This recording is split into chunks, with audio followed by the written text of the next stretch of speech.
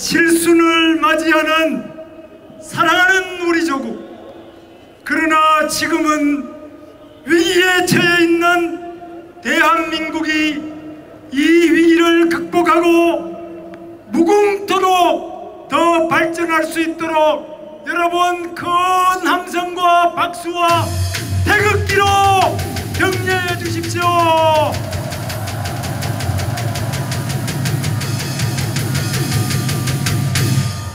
대한민국 축하합니다. 대한민국 사랑합니다. 이승만 건국 대통령 사랑합니다. 4천년 역사에서 처음 실시된 1948년 5월 10일 재헌 국회의원을 뽑는 자유선거 정말 좋은 선거였습니다.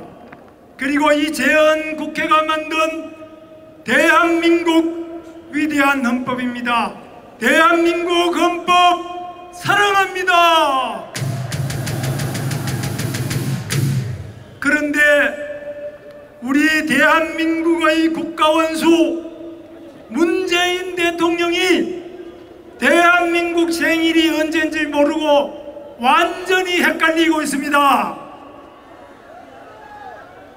문재인 대통령은 김정은만 너무너무 좋아해요. 문재인 대통령 이상합니다. 청와대가 수상합니다.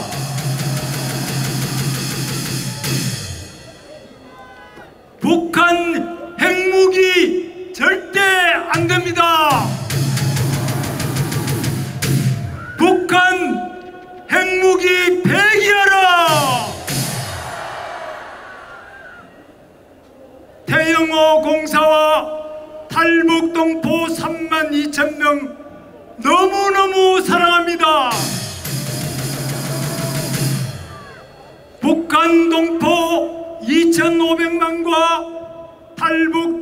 동포들을 보호하는 북한 인권법 준수하라! 준수하라! 북한 인권을 우리가 보호해야 됩니다.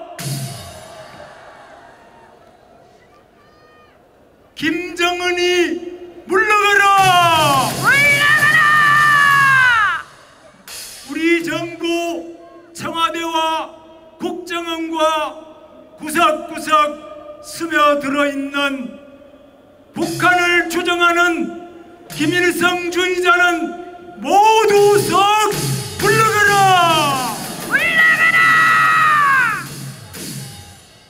대한민국 한강의 기적, 경제 기적을 이룩한 박정희 대통령 사랑합니다. 우리 경제 망치는 문재인 대통령 물러가라.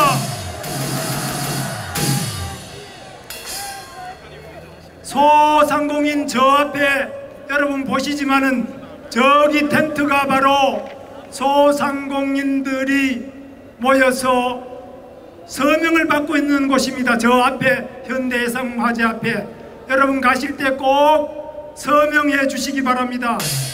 우리 소상공인 알바생 서민경제 다 죽이는 문재인 대통령 정신 차리시오! 정신 차려라! 제가 지난번에 서울시장 나와서 부족해서 떨어졌습니다. 제가 서울시장이 됐으면은 여기 이순신 동상 장군 동상과 세종대왕 동상 사이에 이승만 대통령 동상과 박정희 대통령 동상을 이 빈자리에 반드시 세워야 된다고 저는 주장하는 바입니다. 대한민국 건국 대통령 이승만 대통령 동상을 이 광화문 광장에 꼭 세울 수 있도록 여러분 크게 박수 한번 보내주세요. 우리 대한민국을 가난으로부터 구하고 대한민국을 위대한 대한민국으로 만들어주신 박정희 대통령 동상을 이 광화문 광장 대한민국 상징거리에 꼭 세웁시다 여러분 자유 대한민국을 사랑하고 자유 통일을 꿈꾸는 여러분 다 함께 한번 외쳐보겠습니다. 뭉치자 싸우자 이기자라 하겠습니다. 다 같이 태극기를 들고 크게 한번 외치겠습니다. 뭉치자! 뭉치자! 싸우자! 싸우자! 이기자! 이기자! 자유